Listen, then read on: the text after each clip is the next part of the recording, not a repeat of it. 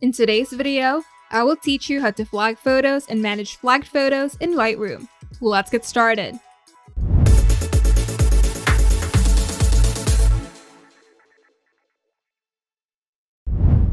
Flagging photos in Lightroom is a great way to quickly organize and manage your photo selections.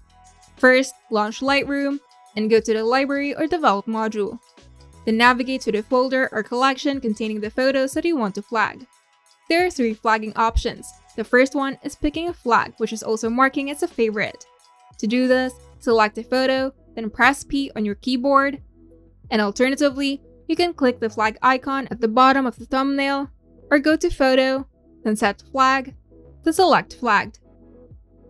You can also reject flag or mark for deletion or review.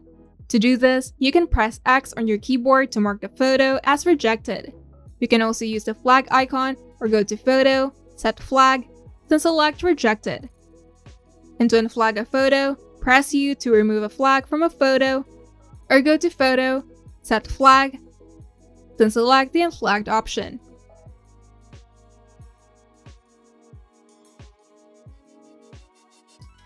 And here's how to filter by flags.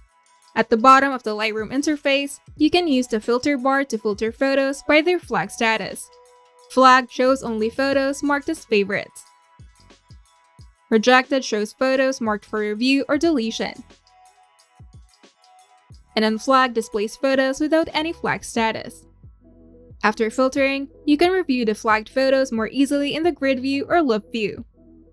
And to delete rejected photos, you can filter by rejected photos using the filter bar. Then press Ctrl and Backspace or Command Delete on Mac to bring up the delete dialog.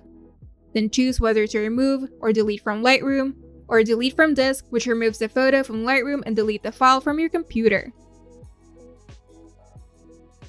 You can organize the flagged photos into a collection for easier access and management.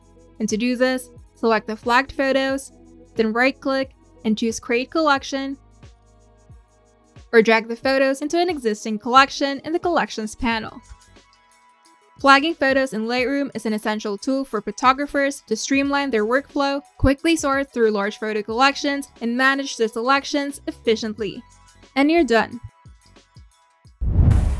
If you find this video helpful, make sure to leave a like and subscribe.